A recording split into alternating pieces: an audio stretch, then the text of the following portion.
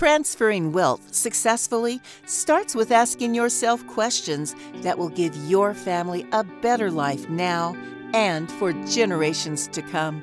In this podcast, financial professionals John and Michael from Copper Beech Financial Group guide you through eye opening questions to help you discover the truth about your wealth. Now, on to the show. Hello and welcome to the Truth About Wealth with John and Michael Parise of Copper Beech Financial Group. Good morning, gentlemen. How are you? Morning, Eric. Good morning, Eric. We're good. Great. How are you, sir? Oh, I'm good. You know, uh, my wife is still working from home, and I think we spoke just briefly on the last podcast, maybe that I everything's going great, except if I could just. I'm still trying to figure out how to keep her out of my office because she wants to tidy up. She wants to organize, and I'm using air quotes on a podcast, which is very effective. But she wants to organize my office. It's my Uh-oh. office.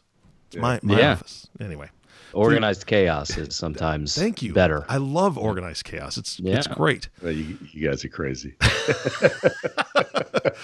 Oh, it's, and and everything's going well for you, You got to guys. let it flow. oh, exactly, exactly. And and we we were speaking a little bit before the podcast. Everybody's doing well in their own self quarantining and social distancing Yes. situations. yes, we are. Yep. In fact, We you guys have, aren't uh, even in the same place right now. No, Dad, you're at the office. I'm at the office all by myself. I'm, yeah, and I'm in my basement. So Right on, right on. we're making it work.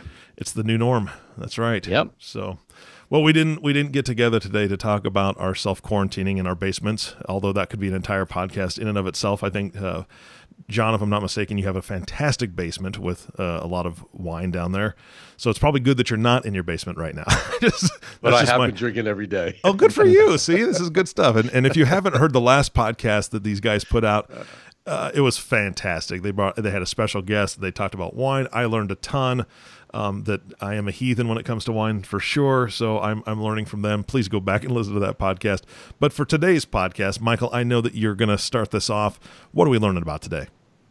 Well, today we probably wanted to try to keep it a bit lighter, although we'll see how light we can keep it. But we wanted to really talk about family businesses, and and I thought it would be a good idea to really have a dialogue between my father and I, since we are a family business and we work with a lot of family businesses, and really just have a conversation on things that come up in in working with a family business and and you know how we work through that uh, at Copper Beech and maybe how some of our listeners could work through that if they themselves have a family business because uh, if anyone does have a family business you know that the dynamics are a little bit different to say the least between Oh boy. um, between that family business and maybe another business relationship you would have. So that's really the topic today that we wanted to talk about.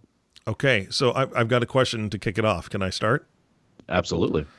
How do you keep it, it separate right? I mean the, the big question how do you keep business separate from personal in, in such a way that it doesn't creep in and, and i say that in what i mean by that is that business doesn't creep into your personal life where because as a business owner myself i grind. My, my brain grinds on my business constantly. I'm trying to figure out what i can do better for my clients. I'm trying to figure out what i can do to grow my business. I'm trying to figure out all the different things that i need to figure out as a business owner and i know every business owner out there does that to some certain extent. How do you keep that from creeping into your personal relationship? And on the flip side of that coin how do you keep the personal issues that do creep up in relationships because I know Michael, you have siblings as well. So mm-hmm. John, you have more than just one child. How do you keep all of that out of the business when it comes to maybe some hurt feelings here and there? It could be hurt feelings on a personal side compared to a business side. How do you keep that separate, guys? dad do you want to go Yeah, eh, we've been fortunate, Eric, because Michael and I have been working together uh, over 11 years now, and we we have a, a real good relationship. We know our boundaries. So I'll leave it at that. He knows what I'm my role is. I know what his role is, and I give him the lead to run the office. Uh, I I kind of stay out of his way. Um, if if you look at it this way, I'm they recognize me being the kind of the visionary for the business where I think it should go, um, and they let me go. Um, we have weekly meetings. We talk about changes and opportunities we have as a, as a business operation, and they're always in tune with listening to me. They think I'm crazy sometimes, and I mean that in a very nice way. But my my role is to push the envelope and and make, to your point, make us better every day. Um, On, on the backside, Michael and his team work on the systems, processes, relationships with uh, communication to the families we work with. So we separate it. So it's easy. It's easy for us because we're also a smaller business, so it's easier for us. And Michael and I really haven't had one fight yet in 11 years, which is people tell me that's kind of uncommon. Uh, yeah. But I respect him, he respects me, and that's the first thing we should talk about. It's a respect issue. Yeah. And it's not an ego issue. And sometimes egos get in the way amongst family members, uh, people in general. Uh, but Michael and I don't have an ego issue between each other. So he respects my role. He respects my uh, longevity in the business, my history, um, my you know my thinking of how businesses should be run but yet Michael always comes in with input that says maybe you know Dad I, I like that idea but maybe we should think about it this way. So together we we manage that efficiently. So if if you're a family owned business, the first thing I would tell you to check at the front door is your ego. Mm. When you walk through that door, check your ego outside and leave it there, and and think of it as a team and think about as a family think about how we're all going to work together to make everybody successful in this adventure so that's the first um, rule of thumb, I would say, you know, check your ego at the front door and recognize the fact that everybody has a role and those roles should be respected. I don't know, Michael, if you have thought for that. Yeah, I think that that was for me personally more of a challenge when I started because it was an adjustment for for me to take what for pretty much most of my life was a personal relationship and now transition that into a per, a business and personal relationship and particularly early on uh, where I would like to think more so now I'm more of a, a, a, partner. It's more of a partnership type of conversation between my father and I. But in the early years, it was probably more of a traditional employer employee relationship, mm-hmm. only because I was really getting my feet wet a lot. And I remember struggling with how, how do I how do I talk to my dad, who's my dad, but he's also my boss, and how do I, you know, I certainly talk to him in ways that I would not talk to another boss in the same tone because he's my father, which I think at the end of the day actually has been a positive rather than a negative because I do think it allows for more open communication. So that was uh, something that I think in, in terms of how to maybe change between the business and, and personal relationship was something that I had to learn over time. Um, getting to back to your other question, Eric, on how do we separate sort of the business and personal relationships, I think I found that the family, the other family members really help that a lot because even if we're not, if my father and I are hanging out together outside of the business, I think it's hard for us to not talk about the business mm-hmm. because that's what we do. we're pretty good at it, though. I think yeah. we're pretty good, but but I think when we have the other family members around, I think they really are are kind of that insulator, yeah. for lack of a better term, to be able to really keep us, you know, more present with the family and talking about uh, the, the family issues as opposed to the the business issues that may be going on. So I, I found that relying on the other family members has been a, a pretty key part of that. Oh, and I'm, I'm sure you both have heard, you know, at least one time in, in the history of this 11 years. All right, boys, enough about business. we're here for we're here for family dinner, or we're here for something else. And and uh, my wife has has told me that on more than one occasion. Okay, because we'll, sure. I'll get together with friends and we're talking about our different businesses. Okay, guys, that's that's enough work let's just talk about you know let's talk about something different. So it's nice to have that. And I, I, think you used a great word there michael with they're an insulator against being drawn into too many of those conversations you can get outside of the work environment and and have that. And also the, the one word that kind of kept coming back to me as you guys were both talking is trust right? It sounds like you you just have you check your egos at the door, but there's a certain amount of trust that you have to place in the other person. Michael, you've got to trust your father that he's going to guide the company. He's got that vision, and and you've seen him be successful over all these years. Mm-hmm. And then John, you're trusting Michael as he's learned and as he's grown into the position that he's in now, being more of a partner in this and being able to sit down and talk and say, okay, I trust his ideas and thoughts when he brings them to me. You're the ultimate decision maker. However, you're giving a lot more weight to what he's saying, and that I mean that's that's a beautiful thing. I wish that would happen in more family businesses, and and, and we may get into that later in the podcast. But that's something that I've seen fail miserably in businesses that. Uh, I've worked with as a coach, you know, because you go in and you see there's just so much tension and there's just no trust there, um, yeah. and that's that's that's a, that's a huge hurdle to overcome. So, I'm going to rewind a little bit because we've talked about how you guys do this being family members, but now I want to know why you did it in the first place. So, John, kind of a question for you: Why did you decide to make a family business, and what was what was it like making that decision to really bring Michael in on it? Yeah, that's a, that's a yeah that's a, a, a great question because it was it was it was something that kind of developed suddenly. Uh, Michael graduated college with a degree in um, environmental management. He worked for an engineering firm for uh, I think a year. I'm mm-hmm. tell me if I'm wrong, Mike. I think it was about yep. a year. And one day we were having a conversation. Michael said to me, "Hey, Dad, I like what I'm doing, but it's not really. I think you have to look at, at the opportunity I have in this industry. It doesn't excite me anymore. Um, how about if I come work for you? I'm I'm not you, but what would I do for you?" And I instantly said to him, "You need to be a JD." Because if if I'm going to leave my present employer, I want to open my own operation. I need a legal counsel on my team hmm. to guide my families. And he said, okay. So Michael went to law school. And one of the conversations we had after graduating law school, he said, okay, Dad, now I've, I've, I got my law degree. Do I come work for you right away or do I work for a law firm and learn the ropes and, and show up two years later?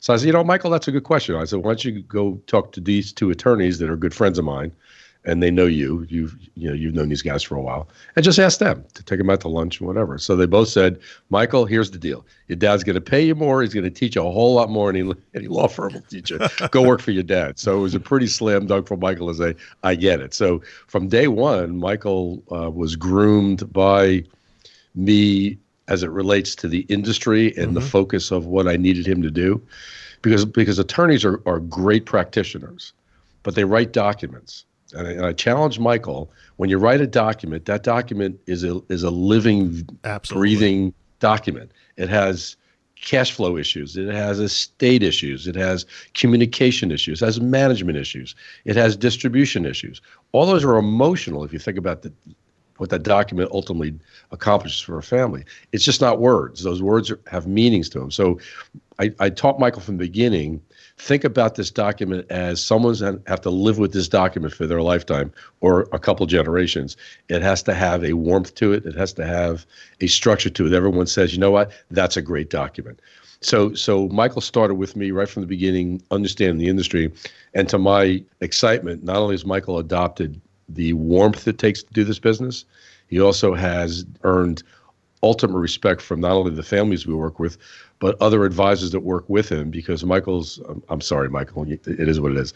He's extremely bright, got a big heart, and clients pick up on that. So that component was a nice surprise to me. Not that I think Michael was a bad guy, but you don't know if he's going to like the industry. Mm-hmm. I didn't know if he was going to fall in love with what I fell in love with 30 years ago.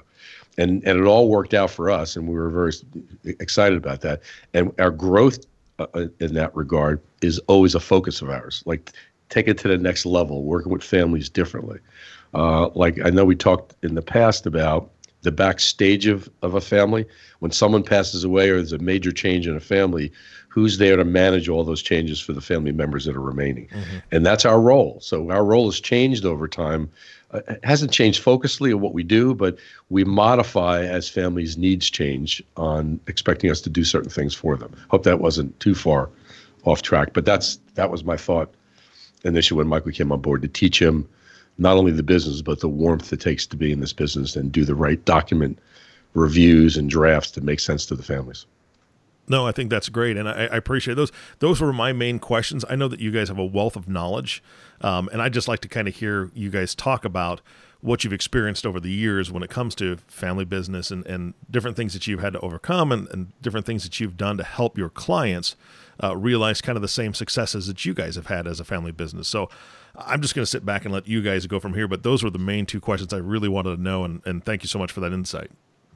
Great. Yeah, that that was that was uh, that was very nice of you. I wonder if you were saying that. You're not going to get a raise, so forget it. I was I was wondering if you were saying that uh, me, as me being your son or me being an employee. I wonder if you would have that same uh, mentality if it was employee a, a, regular employee as opposed to your son but that was very nice of you um, thank you and and right back at you i think for me in terms of why i wanted to to be in a family business uh, I, I well first off i grew up watching my father in this business so um, i had that I guess inside information, if you will, in terms of what it was like to work in this in this business. But I did see the uh, the relationships he had with his clients, um, how he was viewed by his clients and his peers in the industry, and uh, that that's fairly infectious, I think. In terms of if you're a young adult struggling to figure out what you want to do with your life, it's it's nice to have that as a benchmark, if you will, to be able to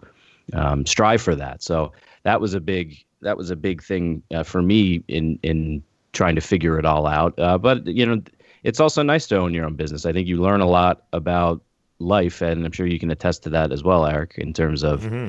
the the type of things that you get involved in. You know, we have to be good. Uh, obviously, in in the financial uh, services world, but we also have to understand how to run a business. And you know, if you're a widget maker, you have to not only know how to make the widget, but you also have to be cognizant of how to sell the widget and you know marketing and uh, recruiting talent and yep. HR. And so I think you know running a business in in in general is always nice to be able to sort of become I think a pretty well-rounded person, and then having the family dynamics on top of it is great. You know, you get to work with your with uh, you know your dad every day. That's that's a great thing. So. Yeah, in the past, when I work with families uh, um, a while back, even now, we we have conversations that are kind of different with the spouses. Now, I usually have a conversation with with the with the wife who's not working in the business typically, at least the clients I've worked with in the past, and they struggle with, you know, why does my husband work 90 hours a week? And I try to explain to them that you now have you have two children, and they say, yeah. Well, no, you have three. The other child is the business. Mm-hmm and your and your husband spends 90% of his time working with that child or that business and it's and it's a it's an understanding you have to have because that's part of his life maybe not as much as yours but it's part of his life because that's what drives the success of the entire family if he makes that child successful every other child in that family is going to be as successful going forward so it's really getting the emotional connections between the spouses understand why are we doing all this what's the mission statement we talk about that in our planning as well. We we brought that up in previous podcasts. But that mission statement has a lot to do with how the families work together. So that that that document has a very important role when it comes to understanding why we're doing what we're doing. And is it a is it a goal of our family to do this for this goal? And the answer is no one really knows initially in the beginning, but it drives that messaging over time that yeah, this can work for all of us and this could be a succession to the rest of the family members, and this could work for us. So that owning your own business, to Michael's point, is very exciting, but it's also extremely risky. Mm-hmm. And that's really where the personalities come into play, where there are people that are risk takers and the people that are not risk takers. Like I am a risk taker, and I think you are too, Eric. People who run businesses t- have a vision to say, you know what, I want to do this. I want to make this work, and they'll sacrifice everything. Now, people probably don't know this, but the average person who's been majorly successful in his life has probably failed between five and seven times mm-hmm. Before he became successful. Every study, every book you read will tell you that. So because you fail at one thing doesn't mean you can't be successful. But that takes a lot of courage. Gets back to that. How do I how do I build the right team of people that give me that courage to move forward and keep fighting the fight every day to grow the enterprise? So it's so it's interesting when you look at the dynamics of how families support each other. But that's a critical part. Uh, uh, Michael, you you've seen that with families. That support of the spouses to the husband working in the family 90 hours a week and mm-hmm. trusting to doing the right thing is important. Mom's never bugged me about working the hours I've worked with because she knows the end result is that we're going to be successful as a family. Yeah, I think you touched on a, a, a key part, Dad, that I've I've well I, I noticed personally with our business, but I also see that with a lot of the family businesses that we work with. And you, you mentioned taking risk, and one of the I think the benefits of starting a business and and take and taking that risk is is the satisfaction of having that become successful after you know those failures. Hopefully, they're not as many as those failures, but that that's a part of uh, part of life. But I think for me, the, the, one of the challenges that I had was I didn't have to take that same risk that you did to start the business because I'm I'm coming into an already to some degree a pretty well established and successful company, and I think that that dynamic is something that is particularly for the second generation something that they really have to uh, overcome in a variety of ways to be able to uh, I, I, guess become successful or to have that same sort of mindset because the, the reality is different, right? I don't have to have that same level of of risk taking the, the the same way that you did. So how I have, that's one thing that I've had to adapt to is to try to change that mindset a little bit, which uh, I'm still learning how to do. But I, I notice that a lot for for the family businesses that we work with and the younger generation coming in is how do they have that same sort of mindset and that can be a little bit of a challenge between the generations i don't know if you have any thoughts on that dad but yeah and, and go that. back to uh, remember uh, that wonderful dr jim grubman who spoke at our conferences mm-hmm. he calls it the immigrants to wealth which is an interesting term because hmm. you have you have family members or people come in the wealth that, to Michael's point didn't create it so they're like immigrants. I'm coming into something that it's just there and how do I how do I adopt to that? So it's an interesting point, Michael, that that a lot of the a lot of the family members that walk into these these businesses might not have the same values that that it took to build a business. They have to be uh, taught that, or they might have the same motivation. So, and you've seen it already, Michael, with some families. The dynamics of every family member is different. Like my girls, Eric, as an example, I offered both my girls a role at Copper Beech. Mm-hmm. And they both said, Dad, we don't do math. I think I said that before on the podcast. But but and, and I said, hey, guys, I don't want you to ever think that you're not invited into the family business. Uh, you're always welcome to be in this business. I want want the opportunity to I want to present the opportunity to you because I don't want you ever coming back to me as your dad saying you never gave me that opportunity. Mm-hmm. And, and, to this day, they they respect and they always say, "Listen, we we know you and Michael in, in, in, that world, we trust you, and most certainly when you're no longer here, we most certainly trust Michael." So so it's that communication between the family members and the understanding of the leadership positions, the willingness to, to take part. I might not be motivated to do that, but that creeps into something that could be a jealousy issue as well. We've seen jealousy among some of the family members that, hey, you gave Jim a better opportunity than I did. You spent more time with him and not with me. And so therefore I feel bad. So the dynamics of the families are critical to understanding the bigger picture of the family. But that takes that mission statement. It takes communication from the leaders. It takes a, a team approach. Like every Tuesday, we have a team meeting here. And Michael will tell you it's open up for every idea. My team gets involved with every discussion. We we talk about every one of our families, what's needed, what what's what we need to follow up on, what's the you know what's the next step, or what do we have to uh, focus on, where the problems are, and we fix it as a team, not me telling everybody what to do. I often tell everybody here in my firm, I'm not your boss.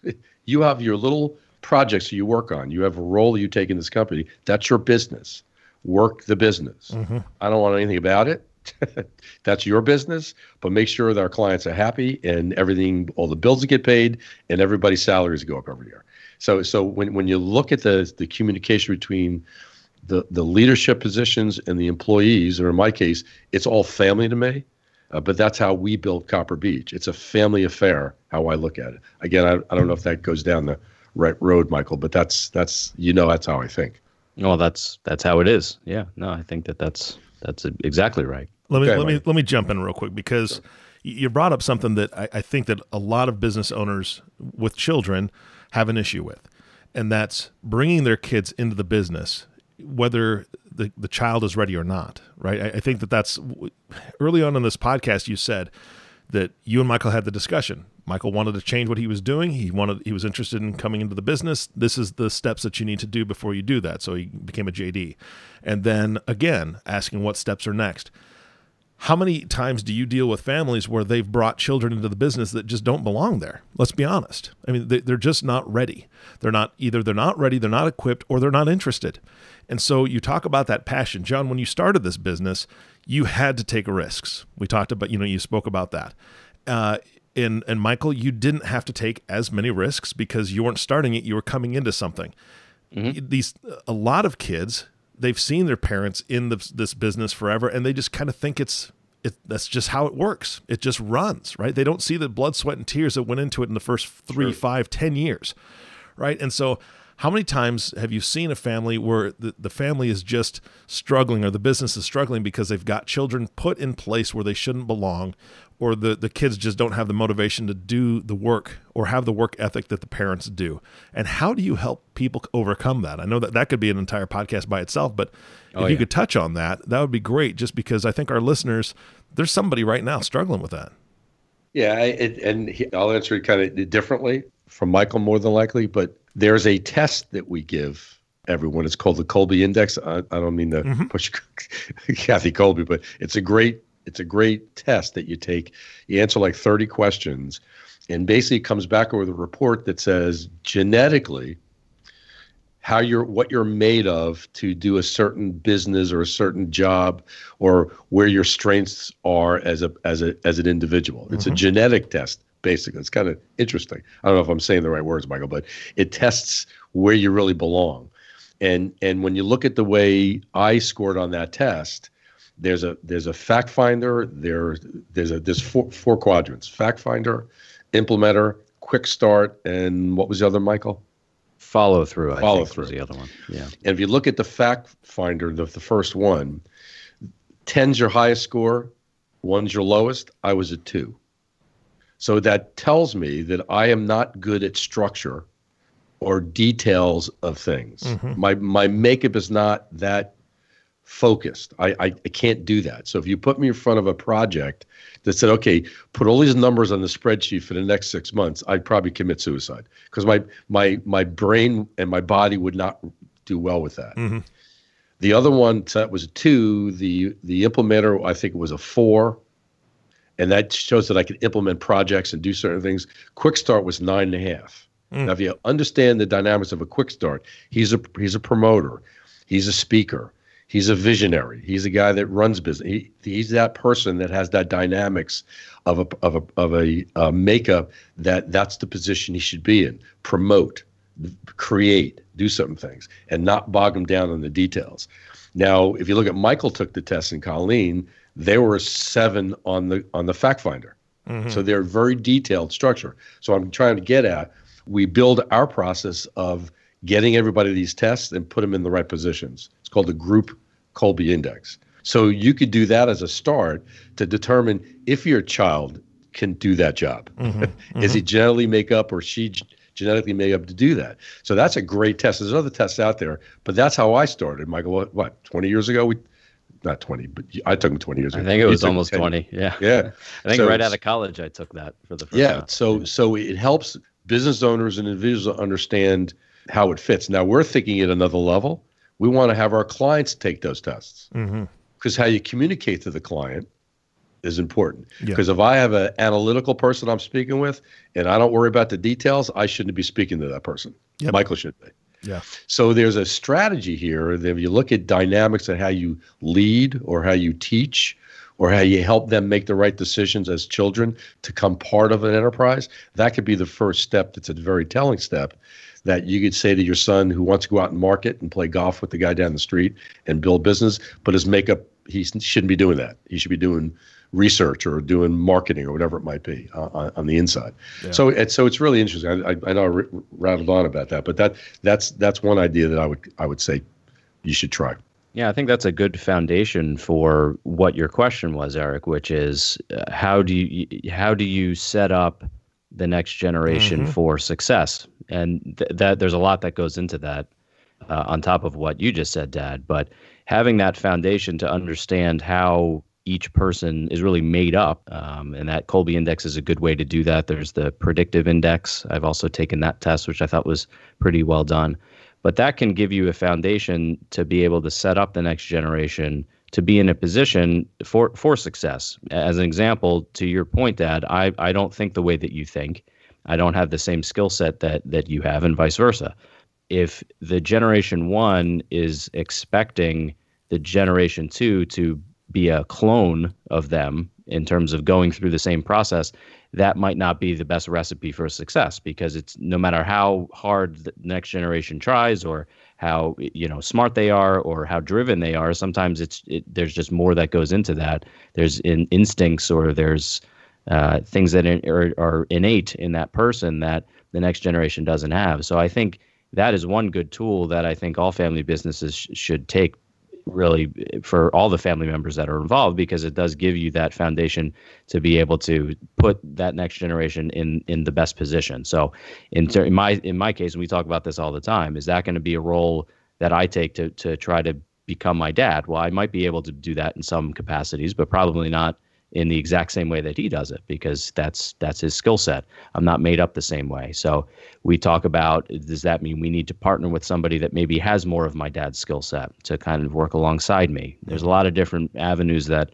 a business can go down to make that work. So that's one thing I would say. And and also to your question, Eric, in terms of if the next generation, first of all, the next generation has to, I think, want to be a part of it, and that's something that requires honest dialog mm-hmm. um, if if you know it's really being pushed upon the second generation because Gen One really wants somebody in the next generation to take over the business, that sometimes isn't the best decision for a lot of reasons, but for, for the business and also for the family. You can imagine that oh, that yeah it causes a lot of tension. So you have to really want to have that family mindset in, in terms of owning the business long term.